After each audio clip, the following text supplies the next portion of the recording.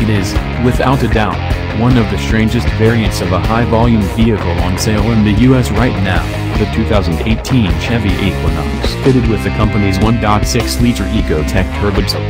That's right, one of the most typically American platforms fitted with an engine type that, especially given the Volkswagen Group's recent difficulties, has never been more than a niche player on these shores.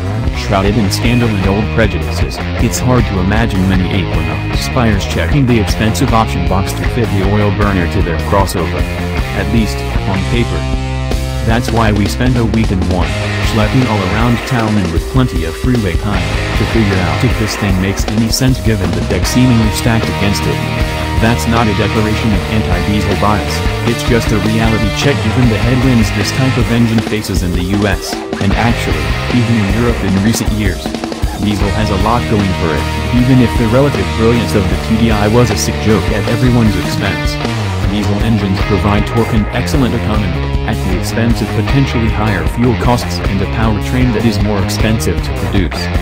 It's the thrift that's probably the biggest benefit to an Equinox Spider, because there's no increased towing capability. It's rated at only 1,500 pounds, compared to 3,500 if you properly equip an Equinox with a 2.0-liter turbo running on gasoline. Nor is it the cheapest Equinox, compared with a life-equipped gas Equinox LT, it's a sizable $1,345 more. The Equinox diesel's 32 miles per gallon combined on the EPA test cycle beats the 1.5-liter turbo gas engine by 4 miles per gallon, and given the real-world disappointment inherent in small gas turbo engine fuel economy, it's probably a bigger advantage out in the wild. The disparity is much larger with the optional 2.0-liter gas turbo i4.